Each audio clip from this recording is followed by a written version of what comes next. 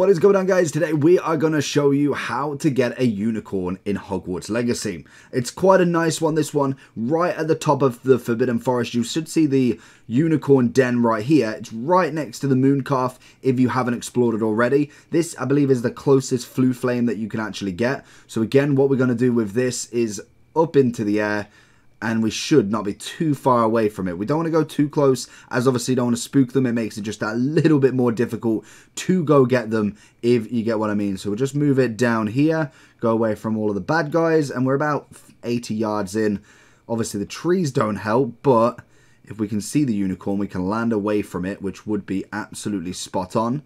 There we go. We can see into it now. Can't see the unicorn. Oh, there we go. I can see the unicorn right there. So we're going to use the disillusionment spell right here just to be able to kind of get ourselves a little bit closer.